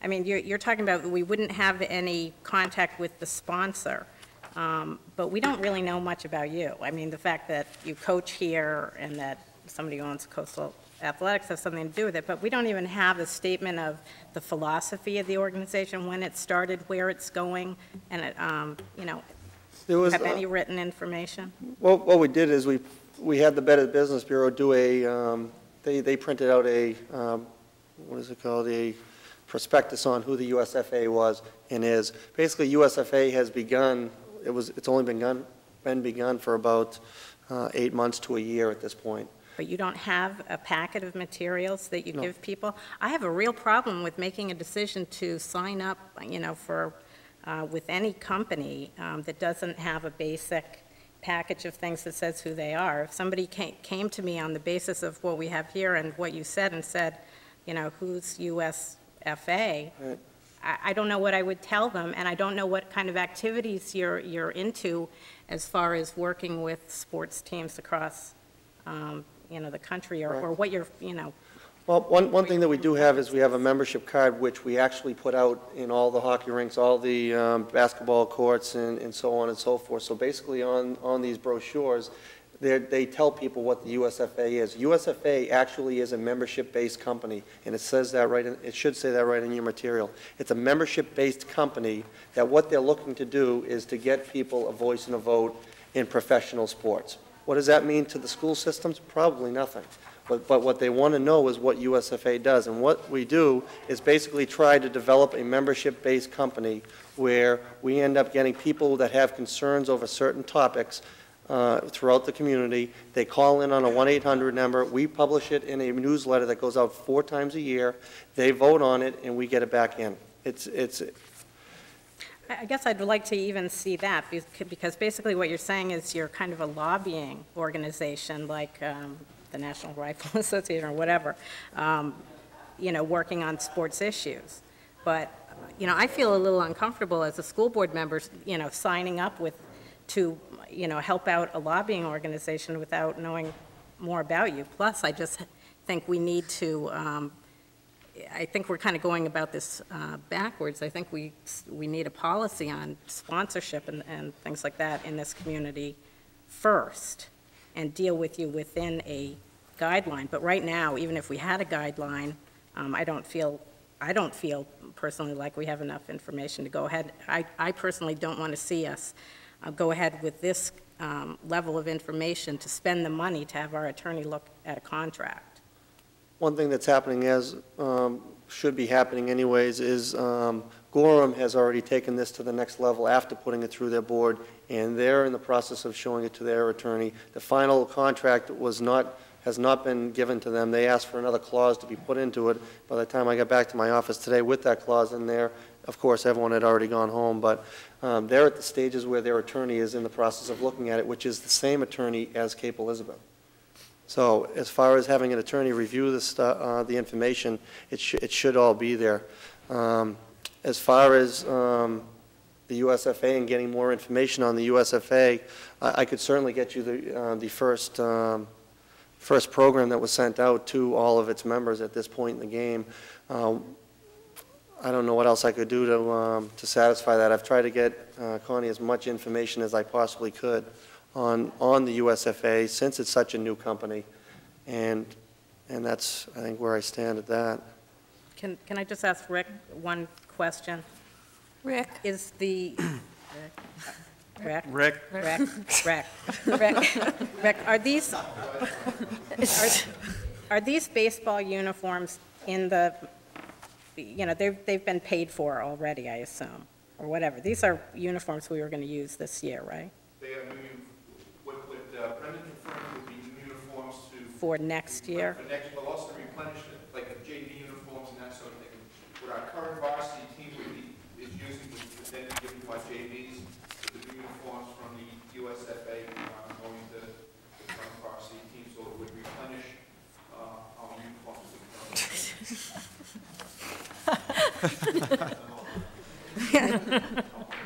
Uh, Ann, did you have any more questions before Keith? Keith? Uh, I agree with Anne that I think it needs to be at the policy level before we can make this kind of decision. Um, And also, it should be definitely dealt with, I think, with the Athletic Study Committee at, at some point after the Policy Committee.